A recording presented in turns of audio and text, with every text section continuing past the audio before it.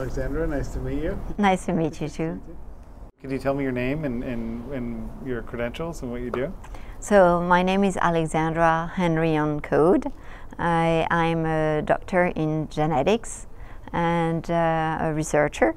I have uh, uh, basically uh, studied a little bit in England to acquire some knowledge and to my primary knowledge in genetics were with uh, Alec Jeffreys, who, who is the inventor of the DNA fingerprinting. So quite a, of a revolution in our world. I mean, we don't even notice anymore, but it was. Uh, and then I eventually came back to France to do my PhD and did my postdoctorate uh, in uh, Harvard uh, Medical School, so in the United States, and. Um, and uh, did my career uh, in our French NIH as an academic, uh, as a researcher, and became a director of research.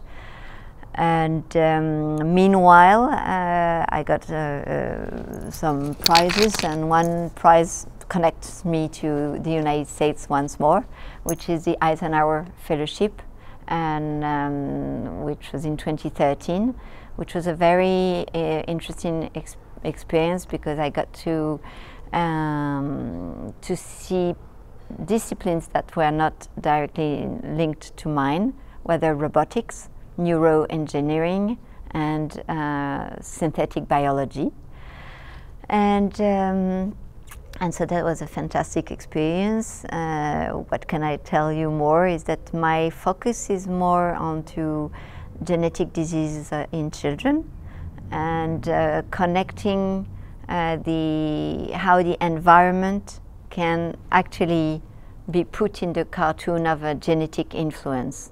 And so this is what we call the epigenetics.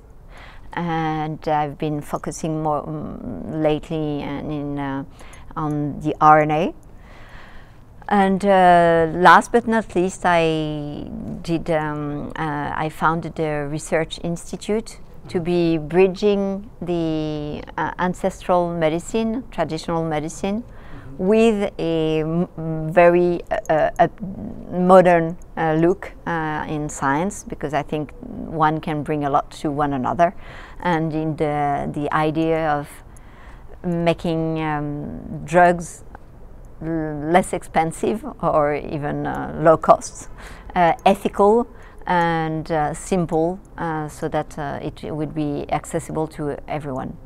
So this is, a, a, in very short words, my career. We keep on using words that we don't even know what they, they sound for. It's like, yeah. So I guess when you first heard of a, of a, a coronavirus lockdown, I mean, did that, what did you think? Well, uh, it came uh, little by little, but uh, as a matter of fact, uh, lockdown didn't. Um, I, I, couldn't. It, it didn't uh, click on any things that I knew of. That I, uh, and so the only thing that I could think of as to the treatment we had was to be house arrested